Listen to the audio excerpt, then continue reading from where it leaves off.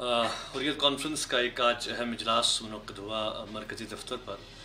اجلاس میں خاص طور اس بات پہ زبردست تشویش کا اظہار کیا گیا کہ کاسوں کی آڑ میں جس طرح سے اس وقت نوجوانوں کو چن چن کر مارا جا رہا ہے، گرفتاریوں کا عمل جاری ہے۔ جنوبی کشمیر میں جو اس وقت کشت خون ہو رہا ہے اس پر زبردست فکر تشویش کا اظہار کیا گیا اور یہ بات محسوس کی گئی کہ طاقت کے بل پہ، تشدد کے بل پر کشمیریوں کی آواز کو دبایا نہیں جا سکتا۔ یہ ایک تاریخی مسئلہ ہے، یہ ایک ڈسپیوٹ ہے اور جب تک اس مسئلے کو یہاں کے عوام کی رائے اور مرضی کے مطابق حل نہیں کیا جائے گا، تب تک کوئی بھی عمل جو ہے، چاہے وہ نام نہاد سیاسی عمل ہو یا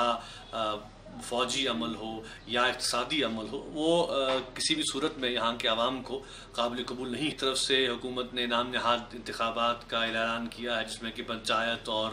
میونسپل الیکشنز کی بات ہو رہی ہے۔ لیکن اسی کی آڑ میں آپ دیکھ رہے ہیں کہ نوجوانوں کو، خاص کر حریت پسندوں کو، جس طرح سے اس وقت ان کے گھروں پہ چھاپے مارے جا رہے ہیں جس طرح سے حریت ایکٹیوسٹ کو ہراساں کیا جا رہا ہے، پولیس اور اور اور پیراملٹری فورسز ان کے گھروں پہ جا رہی ہیں، تھانوں میں ان کو بلایا جا رہا ہے۔ تو ہم یہ سمجھنے سے قاصر ہیں کہ یہ ایک عملاً اس بات کا ثبوت ہے کہ جموں کشمیر کو ایک عملاً ایک پولیس سٹیٹ میں تبدیل کر دیا گیا ہے۔ حریت ایکٹیوسٹ کو ہراساں کرنا اور گرفتار کرنا، ان کے گھروں پہ راتوں کو چھاپے مارنا اور ان کے اہلیال کو ہیرس کرنا، یہ ایک کنڈیمنیبل ایکٹ ہے۔ اس پر بھی زبردست فکر تشویش کا اظہار کیا گیا۔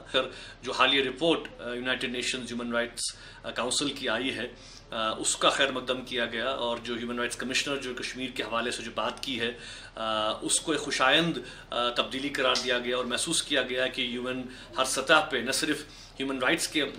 معاملے پر جو ہے وہ اپنے اصولی موقف کو دہراتے ہوئے کشمیر میں ہیومن رائٹس وائلیشنز کو ختم کرنے کے لیے اپنا کردار ادا کرے گی بلکہ جو اصل مسئلہ ہے سیاسی مسئلہ جس کا کہ یو این ایک ایک ایک, ایک حصہ ہے وہ اپنی ذمہ داریوں کو نبھاتے ہوئے کشمیر کے اس تنازع کو حل کرنے کے حوالے سے ایک مثبت اور ایک